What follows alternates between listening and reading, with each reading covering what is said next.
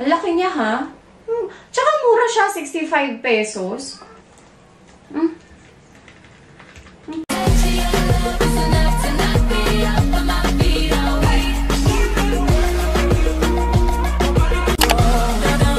Hey guys, it's me again, Naomi. Today, ayan, sobra ako excited dahil meron na naman tayo mafi-film para sa Pwede or Pwede. So ayan guys, meron tayo ditong KFC Chaco. Ayan, so may bago na naman nilabas ang KFC. So imbis na taco siya lang ginamit nila, ito yung chicken breast nila. Ayan. So meron siya ditong nasa loob na cheese, tomato, lettuce, onion, corn, ayan. Tapos guys, meron namang nilabas din ng McDonald's na milk tea. Alam nyo naman ako, di ba? Sobrang hilig ko talaga sa milk tea. Kaya ito, titikman rin natin ang milk tea ng McDonald's. Ang flavor na to guys is winter melon. By the way, itong winter melon na milk tea ng McDonald's is 65 pesos. Then yung KFC Choco nila is 90 pesos. So, ito guys, yung milk tea ng McDonald's, meron din siyang ice cream sa taas. So, para siyang ano, milk tea float. Ganyan. So, guys, let's start na kasi grabe, hindi pa ako kumakain. Dahil ang dapat talaga na i-film ko today is yung uh, Popeyes Louisiana Kitchen. Pero ang tagal dumating kasi ang haba ng pila sobra. So, habang hinihintay natin ang Popeyes, ito muna ang i-film ko today. So, ganito rin yung suot ko doon. Bago ako magsimula pala guys, sabihin ko sa inyo yung ginamit kong lip tint ngayon dahil nakikita ko sa comment section lagi. Ang daming nagtatanong kung ano ba ang gamit kong lip tint pag nagbumukbang. Kasi nga hindi nga natata... Eh, kasi nga hindi nga natatanggal di ba yung lip tint ko. So, ngayon, ito yung gamit ko. Hindi ko siya ma-pronounce. Kasi parang siyang French word, ganyan. Binigay lang sa akin to ng friend ko eh. Ayan, wine lip tint paano ba mag-ano yung mga beauty guru, gano'n. so, ayan guys, tama ba itong ginagawa ko? Ayan, nakikita niyo ba? Ayan, ayan siya. Wine lip tint siya. So, yan yung gamit ko today. Tapos, minsan, ang ginagamit ko naman, guys, is itong galing kay Mom She Channeling. Yan, Channel Tint. Ayan. So, yan, may Channel Tint ako. Tapos, may isa pa kasi akong ginagamit, yung Water Candy Watermelon. Ubus na siya. Kaya, ito yung ginamit ko ngayon. so, ayan guys, start na tayo kasi excited na talaga ako tikman to. Unahin ko muna itong milk tea ng McDo. Ang laki niya ha. Hmm. Tsaka mura siya, 65 pesos. Tapos ang laki. Hmm. Hmm. Yung lasa nito, guys, yung typical na winter melon milk tea na alam mo talaga na mumurahin yung lasa. Ganun. Pero taste-wise siya, for me, okay siya. Nandun yung lasa ng winter melon talaga. Yung winter melon tea. Nandun yung lasa. Kung nasa budget kayo at mahilig kayong uminom ng milk tea, ayan, okay to yung McDonald's winter milk tea nila. Though hindi siya creamy dahil nga 65 pesos lang siya, pero feeling ko pag minix natin yung ice cream na nasa taas, magiging creamy na siya. So, try natin i-mix. Then, yung ano niya pala, yung sweetness level niya, for me, hindi siya ganun katamis. Okay lang siya. Sakto lang siya. Ay, may kalasa tong winter melon milk tea na to. Alam niyo yung Nestle na winter melon, yung nasa sachet? Ganon. Parang same, same taste lang sila.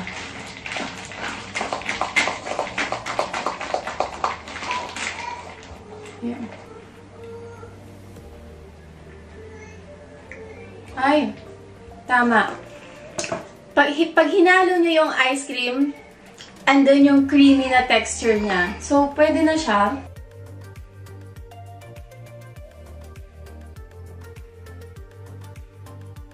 Guys, pwede na to. Basta make sure na haluin nyo yung vanilla ice cream para pag gusto nyo pa ng mas creamy, yon ma-achieve nyo yung creamy texture ng milk tea. Pero yung, yung taste nga lang niya talaga, parang ano lang, winter melon milk tea na Nest, Nest, Nestle? Nesty. Yung Nesty na winter melon, yon kalasa niya. So, try naman natin tong KFC Choco.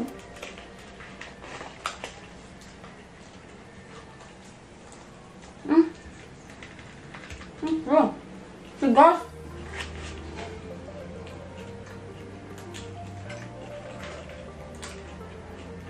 Tigas. Ito na ba to?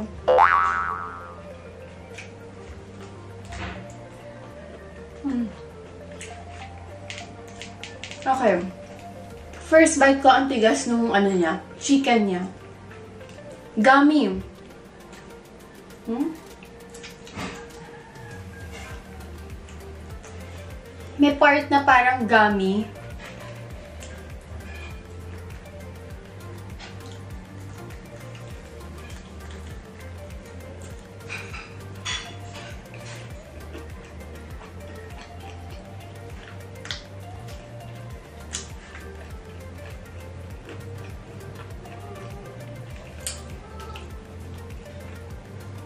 Gusto ko yung tomato sauce nila.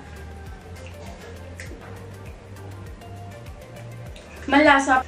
Pero yung chicken, ang tigas, ang gami, for me, it's a pwe. Hindi ko siya type, hindi ko siya gusto. Malasa yung loob niya, pero nga lang yung, yung, kasi guys, ito kasi yung Chaco, yung KFC Chaco, ang main talaga dapat ito is yung chicken, ba diba? Then yung chicken niya, ang gami niya, pag kinagat mo, matigas nga, yun nga, paulit-ulit ako. Siguro ito, masyado nilang pinitpit yung chicken breast nila, or ano siya, ground meat na siya, ground meat na chicken. Tapos, kinompress nila, kaya ganun yung texture niya. Matigas. Para tuloy ang nangyayari sa kanya, fake na chicken. Ganun. Hindi. For me, puwetong chaco na KFC, hindi ko siya gusto. Iba yung texture na, iba yung texture ng meat niya sa akin. Pero sige, last bite pa. Hmm. Hindi talaga. Ang tigas. Ayan, so, pagkagat ko, naiiwan yung meat. Ang nakakain ko lang is yung breading. Sobrang tigas niya. Ang tigas. Parang alam niyo yung ano, pag sa baka, yung lated, ganun. Ganun, matigas. Hindi ko alam kung ano nangyari dito, pero hmm, parang hindi mo siya talaga makakain. But this one, okay itong McDonald's na milk tea nila.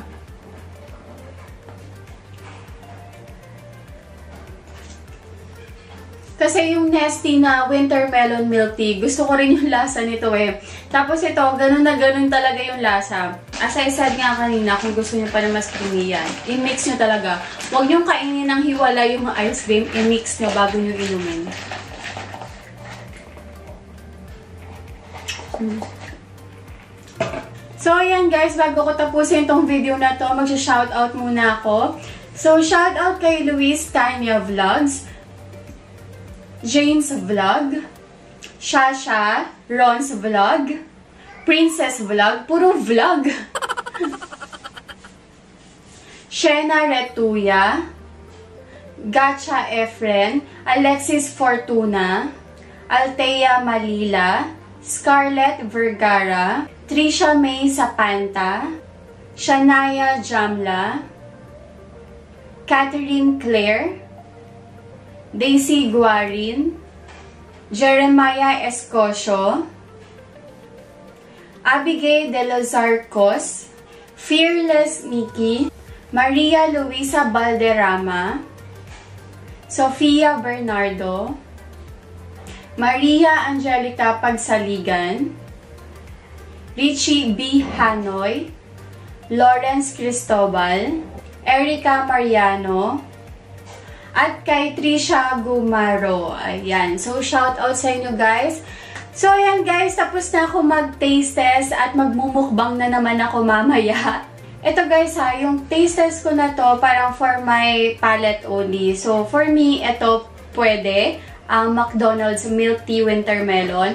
Then, this one, yung KFC Choco nila, pwede fresh sa akin kasi nga dun sa chicken niya na which is dapat yun yung main nitong KFC Choco Hindi, wala talaga. Ang tigas niya, ang gummy niya, wala. So, there you go, guys. Thanks, guys, again for watching. At kung hindi ka pa nakaka-subscribe, please subscribe to my channel. At para updated kayo sa mga videos na i-upload ko, tap the bell icon. Okay? So, I'll see you again. Bye!